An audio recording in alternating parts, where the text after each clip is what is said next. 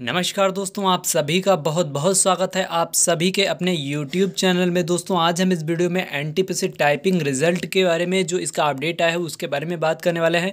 कितने जोन का अभी तक यहाँ पर रिलीज़ किया जा चुका है, इसके बारे में बात करने वाले हैं। और अभी अभी एक जो अन्य नया जोन है, उसका दोस्तों रिज़ल्ट है, आ चुका है।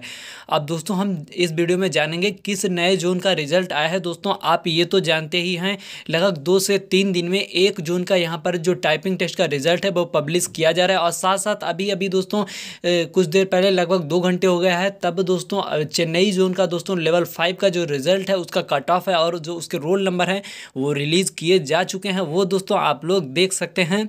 अगर आप चेन्नई जोन से हैं और आपका जो लेवल फाइव में आपका अगर था तो दोस्तों, वो आप देख सकते हैं। अब हम दोस्तों, आप लोगों को दिखाने वाले हैं किस जोन का अभी जो रिज़ल्ट है, वो पब्लिश किया गया है टाइपिंग का।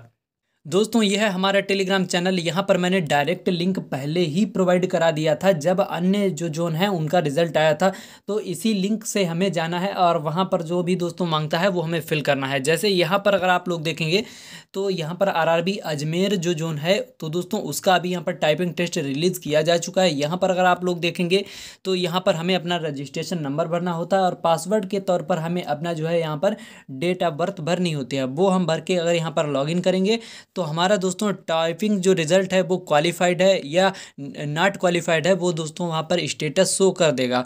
तो वहाँ से आप लोग अपना सिंपली जो रिज़ल्ट है टाइपिंग का वो चेक कर सकते हैं। जैसे यहाँ पर अगर आप लोग देखेंगे तो यहाँ पर आप लोगों को क्लिक करना है, अपना रजिस्ट्रेशन नंबर है जो भी भरना है और भरने के बाद आपको यहाँ पर अपने डी भी सेलेक्ट कर लेनी है। जो भी डी ओ होगी सेलेक्ट कर लेंगे लॉगिन कर लेंगे, आपका जो रिज़ल्ट है आ जाएगा। और साथ साथ आपने जो भी लेवल क्वालिफाई कर रखे होंगे, जैसे लेवल टू है लेवल थ्री है, उनका स्कोर कार्ड भी वहाँ पर दे देगा। तो आई होप आप लोगों को वीडियो पसंद आया होगा। अगर वीडियो पसंद आया हो वीडियो को लाइक शेयर चैनल को सब्सक्राइब कीजिएगा। मिलता है नेक्स्ट वीडियो में, तब तक के लिए जय हिंद।